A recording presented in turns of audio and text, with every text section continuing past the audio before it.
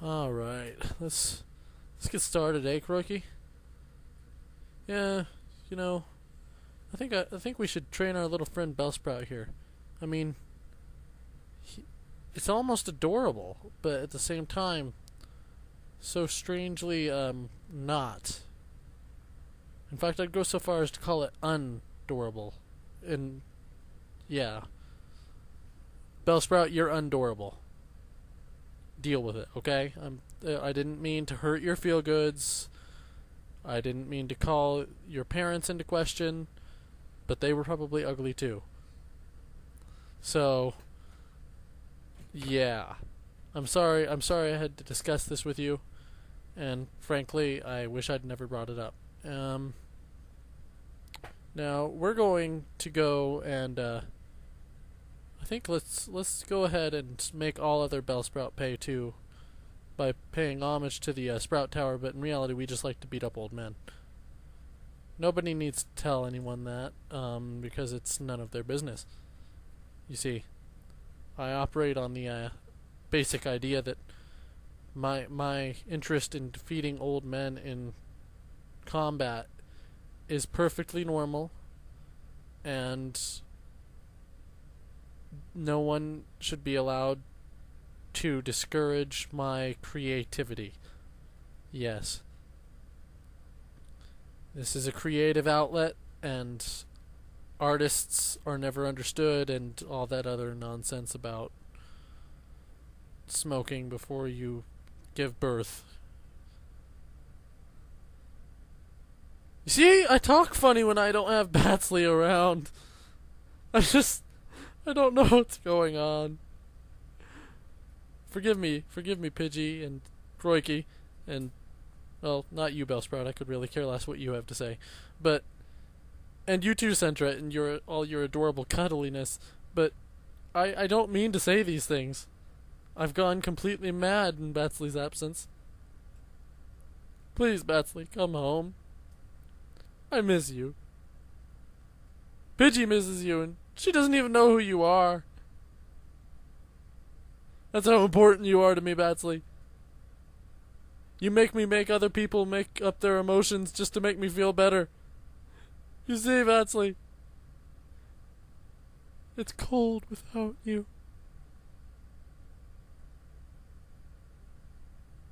But someday, don't worry. Someday I'll find you.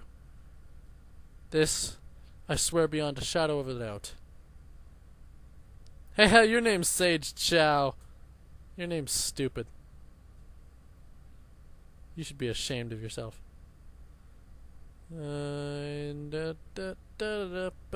Sway like the leaves in the wind. You know, your so, um, obsession with Bellsprout is unhealthy. In fact, you're all a little unhealthy. I mean, it's a Bellsprout, dude. Seriously. That's all it is. You need to get over it. Look, another Bellsprout. Go, Crikey! Excellent work, Crikey!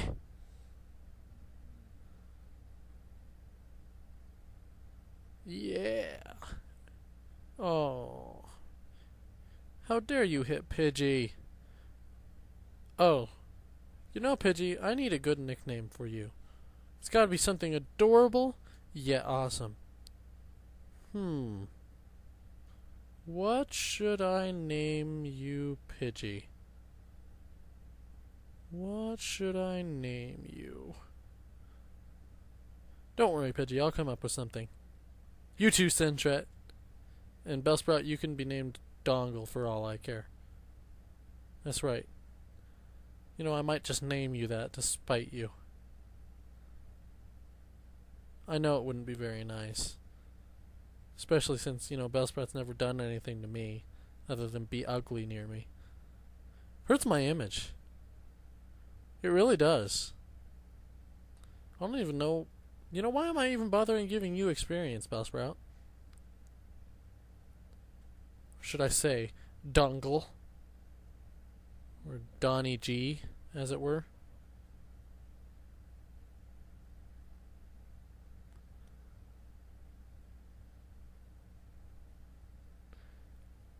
Um. Yeah. So Kroiki, you lead instead. That way you get. That way you get experience. Instead of that stupid Bellsprout.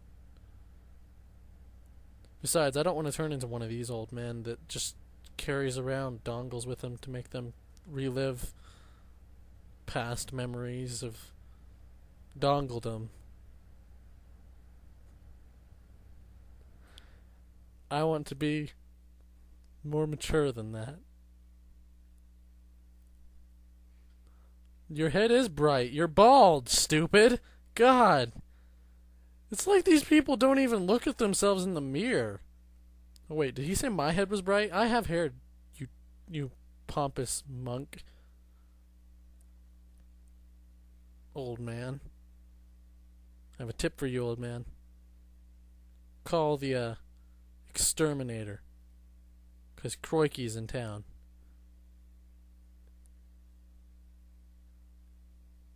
And Kroiki, Kroiki lives to slap old people around. Okay, I'm sorry, Kroiki. I don't mean to hurt your image or anything, but but I like to scare old people. I know you don't like to hit old people because that's not that's not nice. So, I would like to remind all of my viewers don't hit an old person, hug them. Did you hug your grandpa today?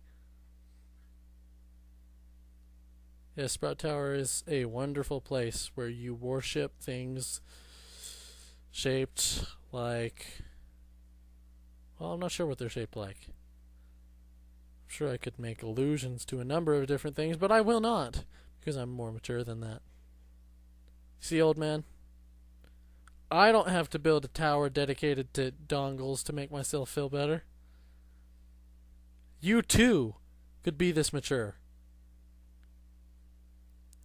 In fact, you could be as mature as some people are and not even mention it.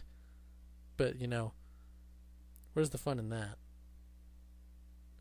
Though you do raise Hoothoots too, which just lends to the um, immaturity. You you raise hooters and Bellsprouts. Yeah.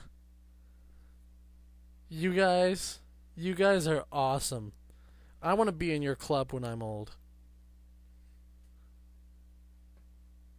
Yeah, thank you for Flash. That's cool. It even illuminates dark places. That's cooler. Oh, what? I forgot you could run into Pokemon in here. Get out of my way, Gastly.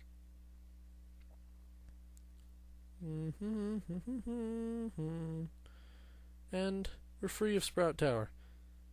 I think I think in the next episode we'll take on uh we'll take on Falkner. Yeah. We'll take on that gym trainer. Gym leader. Son of a gun. I can't think.